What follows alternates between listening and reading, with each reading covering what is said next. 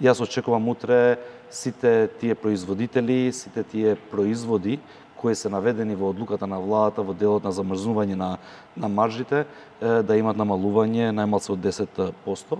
Веќе имаме во маслото за јадење одредено намалување, утре се очекува дополнително намалување да има во делот на лебот и на местните производи и така следствено да продолжат намалувањето и на другите производи.